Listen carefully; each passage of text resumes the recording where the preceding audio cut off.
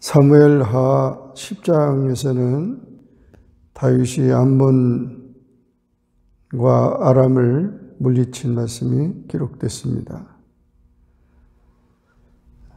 그 후에 암몬 자손의 왕이 죽고 그 아들 한운이 대신하여 왕이 되니라.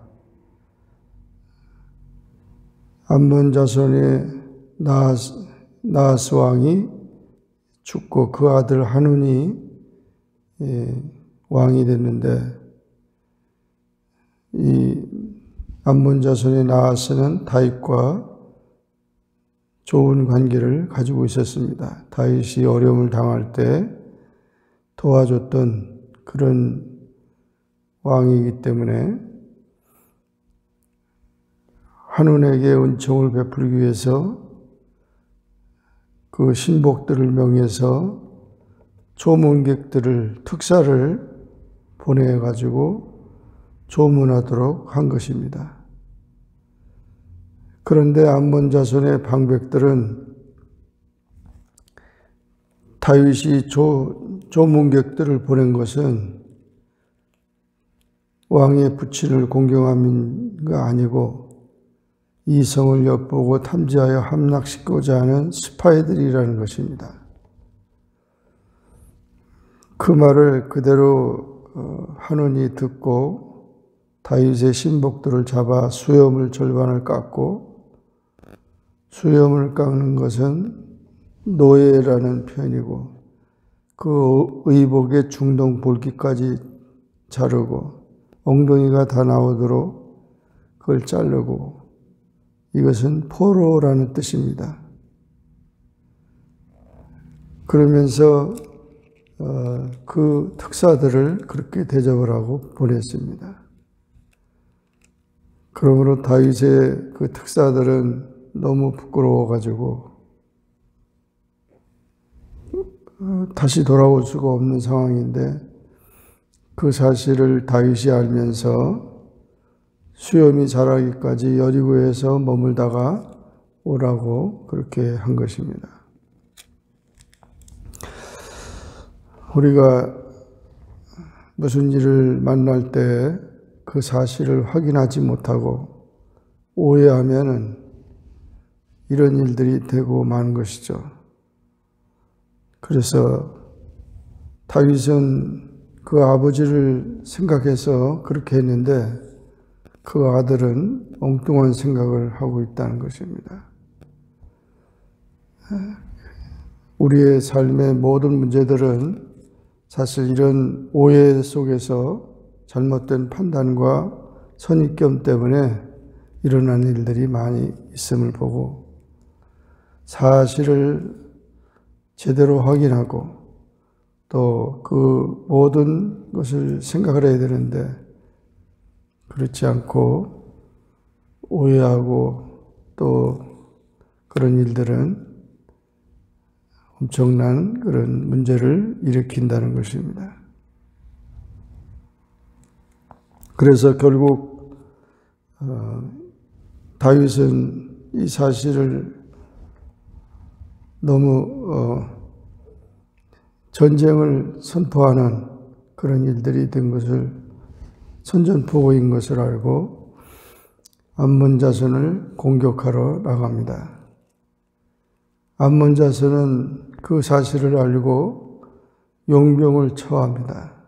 그래서 베르옴 아람 사람, 소바 사람, 보병 이만과 마아가 왕과 그 사람 일천과 돕 사람 일만 이천을 고용했습니다.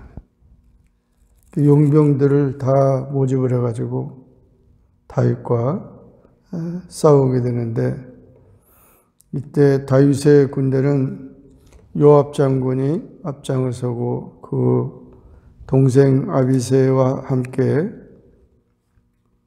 전쟁에 참여합니다. 그러면서 담대하라, 너는 담대하라. 우리가 우리 백성과 우리 하나님의 성읍들을 위하여 담대히 하자. 여호와께서 선히 여기시는 대로 행하기를 행하시기를 원하노라. 하나님이 함께하는 군대는 힘 있는 군대고 강한 군대입니다. 그러므로 강하라, 담대하라.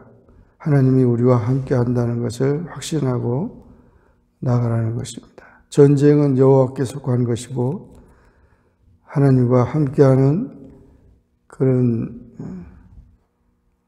자가 승리한다는 것을 보여준 것입니다. 그래서 요압은 그 암몬 자손을 물리치고 어, 예루살렘으로 돌아오게 됩니다. 그런 사실을 아람 사람들이 또 들었는데 또 아람 사람들이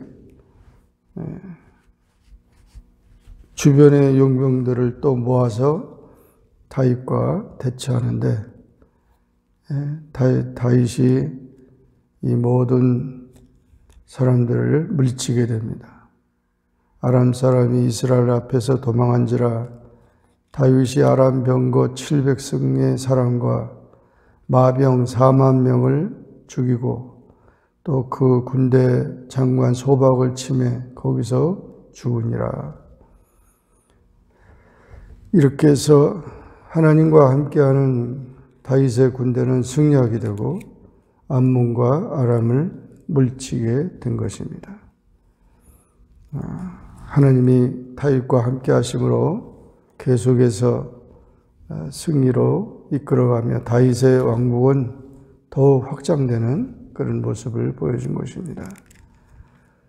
우리는 모든 삶 속에서 하나님을 의지하고 신뢰하면서 담대하게 승리하는 우리의 모든 삶이 되고 모든 사실들을 정확하게 판단하고 오해하는 일이 없는 그런 삶이 되어야 되겠습니다. 항상 믿음 안에 승리하기를 주의 이름으로 축원합니다. 기도하겠습니다. 사랑의 주님 감사합니다. 오늘도 주님 앞에 나와 기도하게 하시고 주의 말씀을 상고하게 하시니 감사합니다. 사무엘하 10장의 말씀을 통하여 다윗이 암몬과 아람을 물리치며 하나님을 신뢰하며 또 하나님의 은혜를 귀중히 여기는 그런 삶을 봅니다. 은혜를 배반하고 그런 모든 호의를 무시하는, 멸시하는 그런 자들은 망할 수밖에 없음을 기억하고 아첨이나 선입견이나 잘못된 판단에 이끌리지 말고 오직 하나님의 뜻을 헤아릴 수 있는 그런 승리로운 주님의 자녀들이 다 되게 하여 주옵소서. 예수님의 이름으로 간절히 기도하옵나이다. 아멘. 하늘에 계신 우리 아버지여 이름이 거룩히 여김을 받으시오며 나라에 임하옵으며 뜻이 하늘에서 이룬 것 같이 땅에서도 이루어지이다. 오늘날 우리에게 일용할 양식을 주옵시고 우리가 우리에게 죄진 자를 사하여 준 것 같이 우리 죄를 사하여 주옵시고 우리를 시험에 들게 하지 마옵시고 다만 악에서 구하옵소서. 대개 나라와 군세와 영광이 아버지께 영원히 싸움나이다. 아멘.